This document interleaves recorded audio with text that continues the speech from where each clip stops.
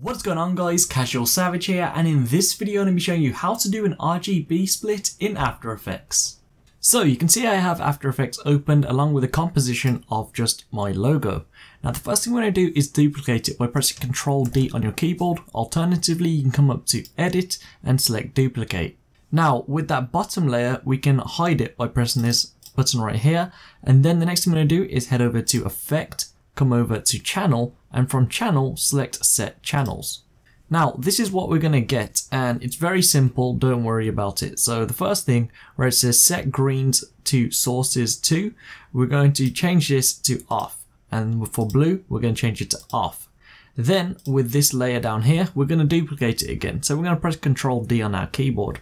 Now for this one we're going to turn the red to off and we're going to turn the green to green and we're going to duplicate it one more time by pressing Ctrl D again and for this one the green is going to be turned off and the blue source is going to be turned to blue.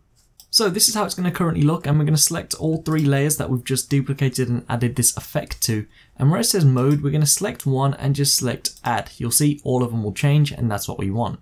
The next thing we're going to do is press P on your keyboard to bring up the position animation and we're going to alt click or if you're on a Mac command click or option click is one of them and you're going to select the position button right here.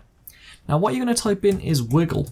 You're going to type in open bracket then from here you can pick a number. So what I'm going to pick is 12 comma 20 and then close bracket and from here I'm going to uh, highlight all this and press Ctrl C and now we're going to head back over to the next one which is position alt click press Ctrl V and then final one, Alt click, press Control V, and that is done. So you can press P again to close all of them, and this is what we currently have.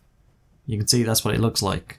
So now we're going to pre-compose these layers. To do that, we're going to head over to Layer, select Pre-compose, and we can just call this RGB, select OK, and this is where we are now at.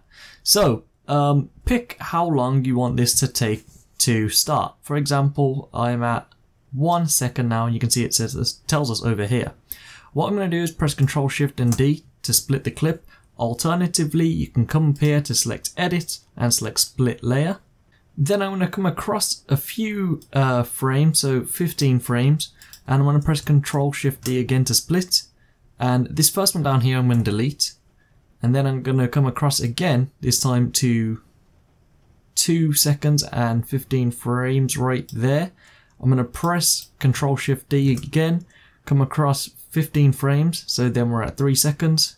I'm going to press Control Shift D one more time, and I'm going to delete this top track, I'm going to delete this middle track, and this is what we have. Let me just turn on the uh, logo here, so it's normal. It's going to go like that. And it's going to go like that again.